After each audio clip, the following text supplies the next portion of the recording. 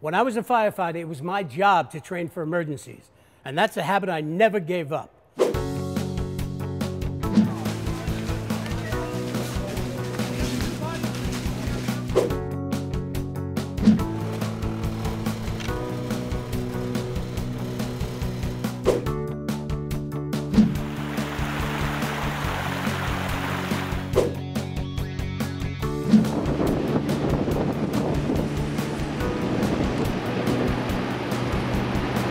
The City of Los Angeles is at risk for multiple types of disasters.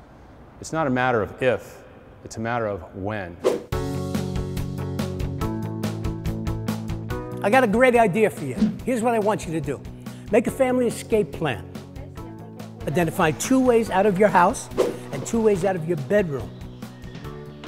Choose a safe meeting place and then practice your plan. Practice makes permanent. A prepared community is a resilient community.